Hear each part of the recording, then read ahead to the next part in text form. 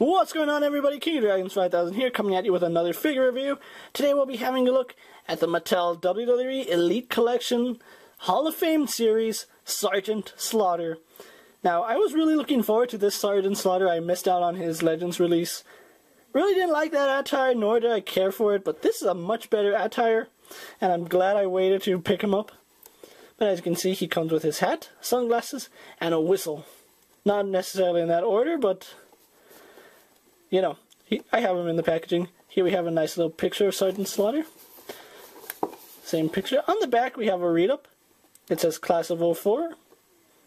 Sergeant Slaughter burst into the WWE scene back in, two in 1980, clad in military fatigues. I think that's how it's pronounced. Fatigues, I, I'm guessing. Sunglasses and a whistle. All signs of this former Marine drill instructor was intent on dominating his foes. Immediately he requested the, that the Marine Corps hymn be played when he entered the ring, an advent of entrance music in WWE. For years, the a hated rule breaker Sergeant or Slaughter's patriotism won over fans when he when he tried or tied when he when he tired of the anti-American rhetoric of the Iron Sheik which sparkled one of the most heated rivalries in WWE history. In 1999, or 1990, excuse me, Sergeant Slaughter returned to WWE as an Iraqi sympathizer, or sympathizer, which enraged the WWE Universe. Despite this, Slaughter defeated the Ultimate Warrior to win the WWE Championship at the Royal Rumble 1991. After being defeated by the red, white, and cold and blue-clad Hulk Hogan, in the months of soul searching, he pled I want my country back, and the WWE embraced him again, finishing his epic career as an American hero. Other figures in this line include Stone Cold Steve Austin, The Ultimate Warrior, and Trish Stratus. Uh, I always remember Sergeant Slaughter from those G.I. Joe cartoons. I loved watching them late at night. But anyway, what we're going to do now is take a little break, get him opened up, and we'll go on to the rest of his review, so sit tight everyone. And so here we have Sergeant Slaughter out of packaging, and I'm going to say right off the bat, mine suffers from quality control issues. Now, it has nothing to do with paint, the paint's decent, it has to do with a piece of his articulation. His torso is incredibly loose, and you can see on camera it doesn't take much just to move it around. That is really unfortunate because that is a really important part of articulation and helps with stabilizing the figure. And that just sucks. He came right out of packaging with this really loose torso and I'm not sure if I can fix it. Uh, I might have to get another Sergeant Slaughter. Hopefully uh, Target still has it, but I'm going to review this figure for what it's worth and try not to knock it too much for the quality control. He does come with the hat, as I said at the beginning of his review. Nice hat. You can see a gold painted. I'm, that's a sergeant emblem on it, and I can't tell what sergeant it's supposed to be. Give me one second. Nope, there is no detail on it. It's just it's just a gold piece of paint. Yeah, but it does have a nice paint around the rim. It is a softer plastic, so that's pretty nice. Moving that off to the side. He also does come with some glasses. They fit nice and snug on his face. They're not going to go anywhere as long as you don't like mess with the figure too much. As well as his whistle. And you can see the joint is already causing problems. Nice detail on the whistle. It is painted silver and looks like it has a little hole for the mouth, but might just be an optical illusion from the molding. It's on this black string piece of plastic. It's actually plastic, but it, it's nice. And now we're on to the figure itself, and I don't know, I kind of wanted this figure, like, to be more than what it is, and unfortunately this is a real bad joint, like no matter what position it's in, it doesn't hold.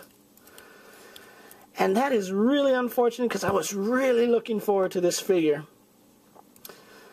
Uh, but the detail is nice, his belt is painted on. His boots are this really military, like, brownish uh, green. You can see the camouflage on his shirt. It's just painted on. It doesn't look like it's molded, it just looks like it's painted over his skin tone. But really nice paint apps on this figure, I'm not going to deny that.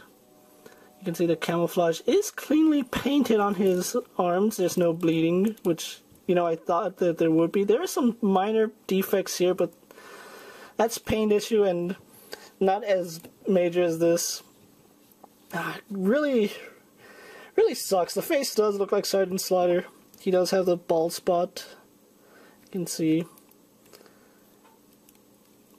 Like, so the only problem I really have with him is this loose ab crunch, because that's a broken figure in my opinion, because you can't really do anything with this joint. It doesn't hold in any position.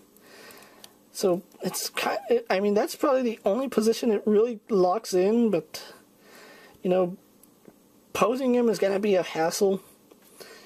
But going on to his articulation, he does have a standard joint. We can look up, down, left and right, as well as some really nice head bobble. You can see he can tilt at the head joint as well as at the neck joint, so that's pretty cool. Arms on a joint go out, do a full 360, spin at the bicep, bend at the elbow, spin and bend at the wrist. The ab crunch, it would work if it didn't have this problem, but it's there. Waist swivel, legs go forward, back, and out.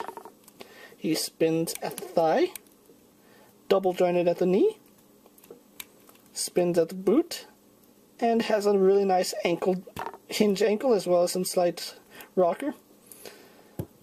So overall, nice figure. Uh, just sucks mine has this really horrid quality control issue oh, excuse me, on it. What I'm going to do now is take a little moment, get him, try to get him posed, and move on to my final thoughts. Then we'll wrap up his review, so sit tight, everyone. So here we have Slaughter posed for my final thoughts, and overall, it's a really nice figure. Mine just suffers from that piece of quality control. It took a while to get it to actually get him standing where the ab wasn't rocking back and forth. Unfortunately, mine is crappy, so that's the best way to put it it's just quality control. I'm hopefully the other slaughters don't have this issue. I picked my slaughter up at Target. That's the only place to get the Hall of Fame series.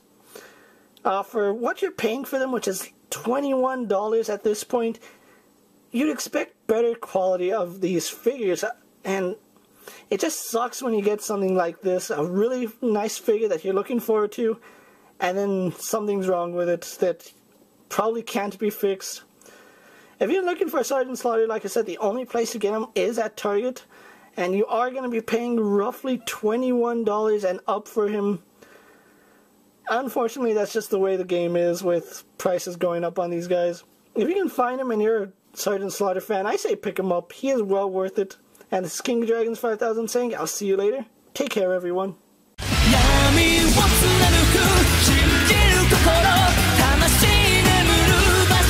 して瞬きできない鋭い眼光。